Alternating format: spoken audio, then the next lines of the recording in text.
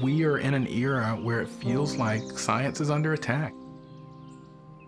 Federal scientists are being withheld from meetings, their reports are being censored. That is very disturbing to me. Science is, at its rawest form, apolitical. Ice doesn't care whether you're a Republican or Democrat, it just melts.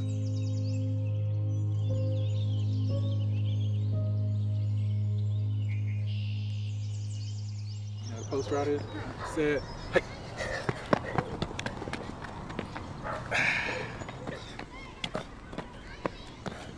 I am a scientist.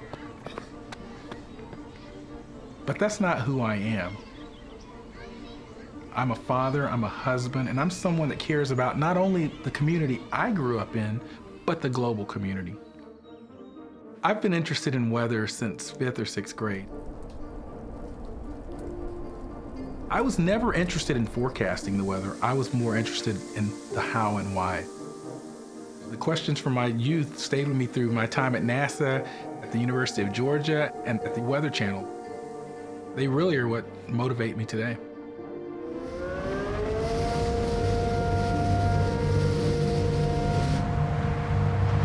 Two thousand seventeen hurricane season was game changer in many ways the intensity of those storms really caught many of us off guard. Harvey produced five feet of rainfall. Irma remained a category five for longer than any storm we've seen in that basin. That's directly related to the temperatures of the ocean. And one of the unsung ways that climate is changing when I see a Hurricane Harvey, and I know a week in advance that that's going to be a humanitarian crisis, the one-two punch of category four winds and five feet of rainfall, I knew that's probably going to kill people. That's not something that I take lightly. It's actually upsetting at times when people look at scientists as people that have agendas or people that want grant money. This is not about a grant. I will look someone dead in the eye and say, I hope you are right that this is a hoax, because if I'm right, my kids lose.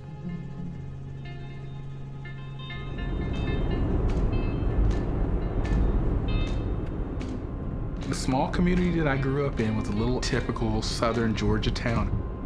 It was a community of moderate to lower income families, marginalized community that's predominantly African American.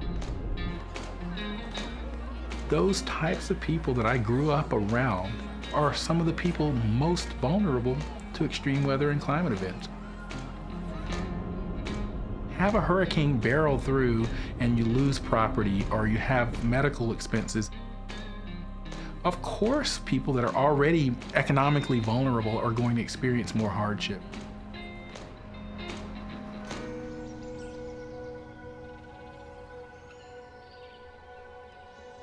Upton Sinclair says it's difficult to get a man to understand something when his salary depends on him not understanding it.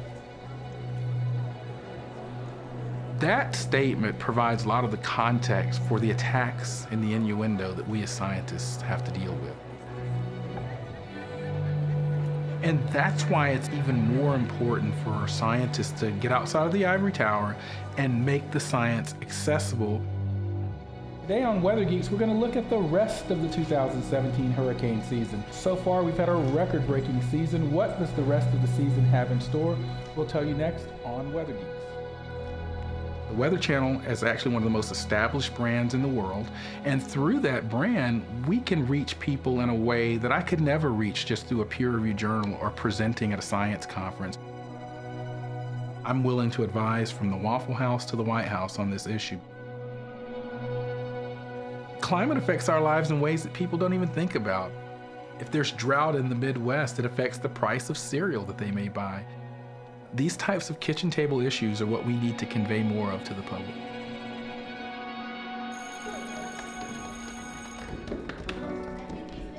If I were to draw a cumulus cloud, what, how would I draw that?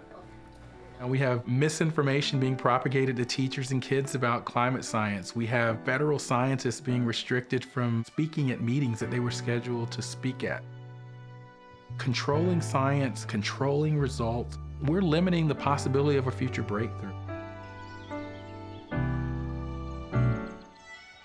This generation's children give me hope. I think they'll break the generational cycle. When you see the light bulb go off, it gives you energy because you know that that's the next CEO or the next engineer that can address some of these problems. I am optimistic about the future of science in America. Will we have challenges? Yes.